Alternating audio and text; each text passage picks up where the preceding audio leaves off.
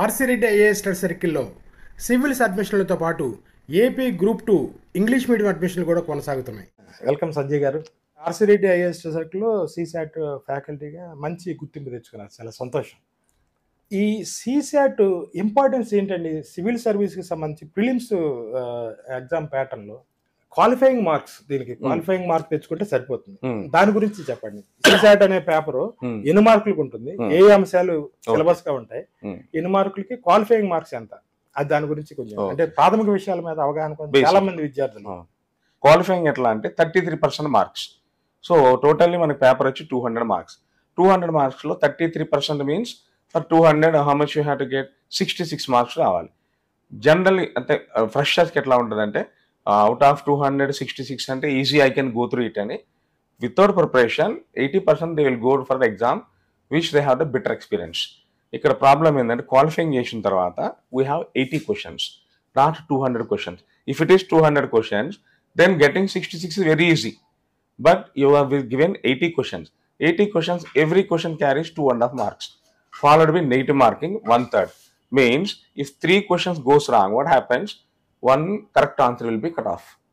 So దీన్ని స్ట్రాటజికల్గా handle చేయాలంటే out of eighty questions forty questions mandatory have to do correctly second ఈ ఏరియాస్లో ఏమేమి ఉంటాయంటే sir reasoning quant data interpretation comprehensions more than nearly forty chapters అయితే we cannot predict the exact pattern of the civil services CSAT paper కూడా. In my experience సిలబస్లో ఈ అంశాలు ఏ స్థాయిలో ఉంటాయండి? అంటే ఇప్పుడు for example mental ability tenth class స్థాయి అని కొన్ని పేపర్స్ సిలబస్లోనే ఇస్తారు. ఓకే అలా- ఇవి ఏ స్థాయిలో ఉంటాయి? యాక్చువల్గా వాళ్ళు మెన్షన్ చేసేది ఏంటంటే యాప్టిట్యూడ్ టెన్త్ క్లాస్ స్టాండర్డ్ అంటారు. టెన్త్ క్లాస్ స్టాండర్డ్ అంటే it is not on the state syllabus. Again CBSE ICSE standard. If you go for the CBSE ICSE maths standard tenth అనగానే మన తెలుగు స్టేట్లో ఏమనుకుంటారంటే ఏ బేసిక్ క్వశ్చనే కదా. ఒకసారి మీరు సిబిఎస్ఈ బుక్స్ కానీ తీసుకుంటే it is almost graduation standard ఉంటుంది సార్ అది. సెకండ్ అప్లికేషన్ ఉంటుంది. అంటే క్వశ్చన్ డైరెక్ట్గా ఇవ్వరు. ఇప్పుడు ఫర్ ఎగ్జాంపుల్ వేరే చిన్న చిన్న exams group one group two constable వాళ్ళకు కూడా యాప్టిట్యూడ్ ఉంటుంది. థింగ్ ఏంటంటే మీకు అర్థమైన లాంగ్వేజ్ చెప్పాలంటే ఇప్పుడు eight constable exam group four రాసినాం అనుకోండి టెన్ ట్వంటీ థర్టీ డాష్ అంత ఇలాంటి క్వశ్చన్స్ ఉంటాయి. So the same if you go for aptitude వచ్చేటప్పటికి అంటే వీళ్ళకి ఒక సెకండ్ థర్డ్ టేబుల్ అడిగింది అనుకోండి ఇక్కడ సెవెంటీన్త్ ఎయిటీన్త్ టేబుల్ అడుగుతారు. ఇప్పుడు వేరే కమింగ్ ఫర్ ద జిఎస్ ఇప్పుడు మన కానిస్టేబుల్కి హిస్టరీ చదువుకున్నాం. అటు మళ్ళీ డిగ్రీ అని చెప్తాం అదే దాంతో మనం సివిల్ సర్వీసెస్ ఆప్షనల్ హిస్టరీ రాయలేం కదా. వీడు చదువుకున్నది fifteen August nineteen forty seven Indian freedom అని చదువుతాడు. వాడు fifteen August nineteen forty seven అని చదువుతాడు. It doesn't mean that intensity level ఎక్కువైపోతుంది sir. Intensity so mental basic అనేది ఒకటే ఉంటుంది. అప్లికేషన్ అనేది చాలా లోపలికి వెళ్ళిపోతుంది. మెన్షన్ చేస్తే క్లియర్గా ఉంటుంది. ఏమని టెన్త్ స్టాండర్డే ఉంటుంది. But tenth on CBSE standard నేను చాలా మంది విద్యార్థులు గమనించాను. హ్యుమానిటీస్ పర్టికులర్ పర్టికులర్గా హ్యుమానిటీస్ నుంచి వచ్చిన స్టూడెంట్స్ని. వాళ్ళు సీసాట్ సంబంధించిన సిలబస్లో ఆ, ఏ అంశాల మీద అంతగా అవగాహన లేని స్టూడెంట్స్ అవును. అలాంటి స్టూడెంట్స్ కూడా ఫస్ట్ అటెంప్ట్లోనే ప్రిలిమ్స్ క్వాలిఫై కావడం చాలా మంది ఉన్నారు ఇలాంటి నేను చాలా అనుభవాలు చూశాను. ఉమ్. మనం ఎలాంటి కసరత్తు చేయడం ద్వారా ఎలాంటి టీచింగ్ ఎబిలిటీస్ ద్వారా సీసాట్లో మనం ఈ స్టూడెంట్స్ని ఆ ప్రాబ్లం నుంచి స్టార్ట్ అవుట్ చేయగలం ఇప్పుడు ప్రజెంట్ ఉన్న ప్యాటర్న్ని అది లెవెల్ ప్లేయింగ్ ఫీల్డ్ ఉంటుంది సార్. ఇప్పుడు ఎట్లా అంటే ఓన్లీ మ్యాథమెటిక్స్ బ్యాక్గ్రౌండ్ తర్వాత బీటెక్ లేకపోతే హ్యుమానిటీస్ అందరినీ ఈక్వల్గా లెవెల్ చేస్తే యూపీఎస్సీ పేపర్ రాంగ్ ప్రిసెప్షన్ ఏంటంటే ఈ బీటెక్ ఐఐటీస్ నుంచి వచ్చిన వాళ్ళు ఏంటంటే మా మ్యాథ్స్ బాగా వచ్చు అనుకుంటారు. ఏం లేదు సార్ అందరూ ఈక్వల్ అక్కడ. మ్యాథ్స్ ఎక్కువ అంటే the difference between humanity student and technical student is he can do the calculation fast అంటే మనకు అర్థం లాంగ్వేజ్ చెప్పాలంటే ఫిఫ్టీన్ ఇంటూ ఫైవ్ అనుకోండి. మ్యాథమెటిక్స్ స్టూడెంట్ సెవెంటీ ఫైవ్ వేస్తాడు హ్యూమానిటీస్ ఆ డేర్ చేయలేక ఫిఫ్టీన్ ఇంటూ ఫైవ్ మల్టిప్లై చేస్తాడు ఆ తప్ప ఇంక అందరు ఈక్వల్ సార్ అది. బికాస్ ఎక్కడ మ్యాథమెటిక్స్ ఏరియా మ్యాథ్స్ ఏరియా అడగరు క్వాంటి ఏరియా అడుగుతారు. మ్యాథమెటిక్స్ ఈజ్ డిఫరెంట్ ఇప్పుడు ఇంటిగ్రేషన్ ట్రిగ్నోమెట్రీ ఈ టైప్ ప్యూర్ మ్యాథ్స్ ఉండదు వాళ్ళకి. వాళ్ళకి అడిగేది క్వాంట్ మ్యాథ్స్ అంటే which will be applicable in common language ఇప్పుడు ఇది పెట్టడానికి main reason if you become IAS officer or IPS or IRS whatever it may be you have to give your report to the concern politicians or some non maths background ఉంటుంది. అక్కడ data interpretation తయారు చేయాలి కదా sir. Data అంతా collect చేసి దాన్ని interpret చేసి ఈ లే మ్యాన్ అంటే ఒక సాధారణ వ్యక్తి చూడగానే అర్థం కావాలి అర్థం కావాలంటే ఈడు ఈ పర్సంటేజ్ అన్ని చేసి ఇది పెడతాడు. ఆ బేసిక్ నాలెడ్జ్ గురించి పెట్టేశారు Hmm. ఇక హ్యుమానిటీ వాల్స్ అంటే ఏం లేదు sir. Tables first tables by heart చేయాలి. స్కేర్స్ క్యూబ్స్ బై హార్డ్ చేయాలి. వీళ్ళు ఆల్రెడీ ఒక స్టేజ్కి వచ్చారు కాబట్టి టేబుల్స్ బై హార్డ్ అని షై ఫీల్ అవుతారు. అక్కడ క్యాల్కులేషన్ టైం ఎక్కువ అవుతుంది.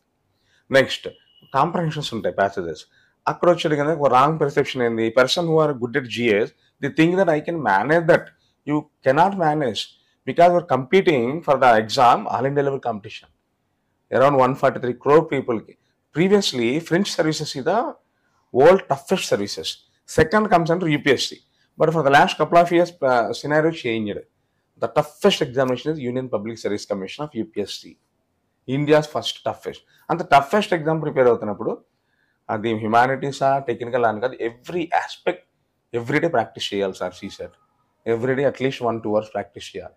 లేదంటే ఒక టూ త్రీ మంత్స్ గ్యాప్ వస్తే again they will come to zero rule డీట్ that is మామూలుగా ఒక సాధారణ విద్యార్థి సీసాట్ సిలబస్ పట్ల అంతగా అవగాహన లేని స్టూడెంట్ ఈ సీసాట్ సంబంధించిన అన్ని అంశాల మీద ఎగ్జామ్లో క్వాలిఫై కాగలిగే స్థాయిలో గ్రిప్ సంపాదించాలంటే ఎంత టైం తీసుకుంటుంది అంటారు first he has to go for the coaching sir okay ఇప్పుడు ఫర్ ఎగ్జాంపుల్ మన ఆర్సిటీ ఇన్స్టిట్యూట్ ఉన్నది.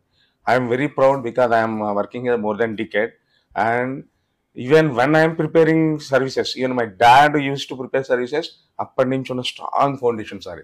You go every nook and corner of almost India our first and second పొజిషన్లో ఉన్నది ప్రజెంట్ ఇండియాలో చాలా మంది ఢిల్లీకి వెళ్తారు. ఢిల్లీలో కూడా సీసార్ కోచింగ్ లేదు. You know one thing so many of the students directly come to Delhi and I'm very proud of saying that they will come and join in our state and they will say that some uh, CSAT and some topic, some subjects are there which are extra excellent where you cannot find throughout India. It out that is. అట్లాంటి student కూడా join అయ్యి ఉన్నారు ఇక్కడ ఢిల్లీ మరి ఢిల్లీ అంటే అది ఎట్లా ఉంటుందండి సార్ ఒక ఫస్ట్ అంటే ఢిల్లీ. ఢిల్లీ అంటే ఫస్ట్ ఏమంటే అవే ఫ్రమ్ ద పేరెంట్స్. పెద్ద ఉద్యోగం రావాలంటే అంత దూరం to Delhi, you go to anywhere, rule it out. You had to be handled by the perfect organization first. ఒక సిస్టమేటిక్ ఆర్గనైజేషన్ ఉండాలి. ఫర్ ఎగ్జాంపుల్ ఇప్పుడు మన ఇన్స్టిట్యూట్ గురించి చెప్తాను బయట ఇన్స్టిట్యూట్ కూడా విజిటింగ్ ఫ్యాకల్టీ కింద వెళ్తుంటాను. But this is mother institute okay అయితే అక్కడ అబ్జర్వేషన్ ఏంటంటే మన దగ్గర డిసిప్లిన్ ఎక్కువ ఉంటుంది. దట్ డిసిప్లైన్ మా డైరెక్టర్ సారే డిసిప్లైన్ చైర్మన్. అక్కడి నుంచి ఆబ్వియస్లీ మా అందరికి ఆటోమేటిక్ డిఫాల్ట్ వస్తుంది. ఒకసారి అనౌన్స్ చేసినాం అనుకోండి schedule two thirty to four CSAT class is there until my portion three months పడుతుంది. త్రీ మంత్స్ అయ్యేంత వరకు నైన్టీ నైన్ పర్సెంట్ అది క్యాన్సిల్ కాదు. We will be very regular first అవును.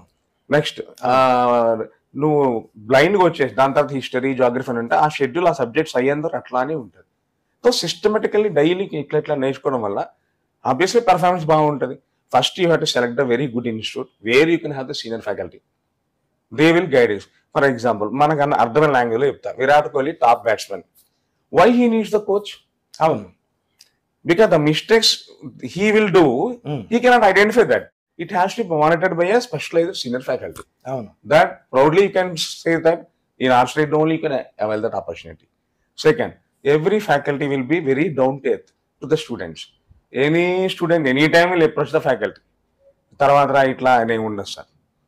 కోచింగ్ గురించి నేను ఒక ఒక సెంటెన్స్ చెప్తాను. బౌండరీ లైన్ లోపే క్యాచ్ పడితే అదే బౌండరీ లైన్ దాటి క్యాచ్ పడితే ఉపయోగం లేదు కదా. అవును. ఆ బౌండరీ లైన్ ఏంటో చెప్పేదే కోచింగ్. అవును. దీని మీద మీ మీ ఉద్దేశం?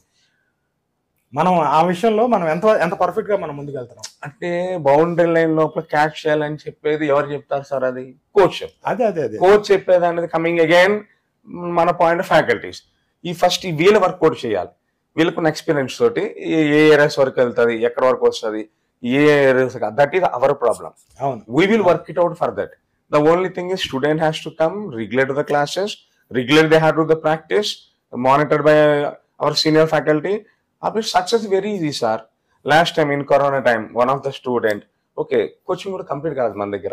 ఈవెన్ లాక్డౌన్ అయినప్పుడు లాక్డౌన్ అయితే she first attempt at days of twenty two she crack the job we're very proud of it complete coaching అంటే ఇక్కడ మీనింగ్ ఏంటంటే you don't need hundred percent mastery you have to know what areas are there hundred percent ఇప్పుడు eighty questions ఉంటాయి యూపీఎస్సీలో eighty questions ఎవరు answer చేయలేరు sir if you do the answer for example GS you got two hundred of two hundred CSAT out two hundred two out of two hundred what happens then you know intelligence will come from Delhi um, ఇన్ని marks నీకు ఎట్లా వచ్చినాయి అని. So అట్లా ఏం లేదు. సైంటిఫికల్గా మనం ఏంటంటే పేపర్ని అనలైజ్ చేసుకుంటూ ఒక మార్జిన్ పెట్టుకోవాలి ఇంత. ఇంత మార్జిన్ మనం టార్గెట్ పెట్టుకుని ఆగితే క్లియర్ అవుతుంది సార్. ఆర్సిరెడ్డి ఐఏఎస్ సర్కిల్కి సంబంధించి నా అనుభవం. చెప్పండి సార్. లాస్ట్ వీక్ ఒక పాప సివిల్స్ అడ్మిషన్ కోసం వచ్చింది. హ్మ్, కర్ణాటక నుంచి వచ్చింది. అక్కడ కర్ణాటకలో ఒక ఐపీఎస్ ఆఫీసర్ కలిసిందంట. ఆయన తెలుగు వ్యక్తి కాదు. కర్ణాటక. కన్నడిగ నేను హైదరాబాద్ వెళ్ళి కోచింగ్ తీసుకోవాలనుకుంటున్నాను. ఏంటంటే ఆర్సిరెడ్డి ఐఏఎస్ Hmm. ఇంకా ఇంకా వేరే ఎంక్వైరీ వద్దు. స్ట్రైట్ అవే నువ్వు అక్కడే ఇంకా వేరే ఎంక్వైరీ వద్దు. ఏది బెస్ట్ అని ఇంకెవరిని అడగొద్దు. హ్మ్, ఇలాంటి అనుభవాలే. ఎవరో ఒక క్లర్క్ ఉద్యోగం చేస్తాడు శ్రీకాకుళం. ఆయన ఏది కోచింగ్ అంటే ఆర్సి రెడ్డి. కొన్ని వందలు కొన్ని. వందలో వేలు వేలు వేలు వేలు.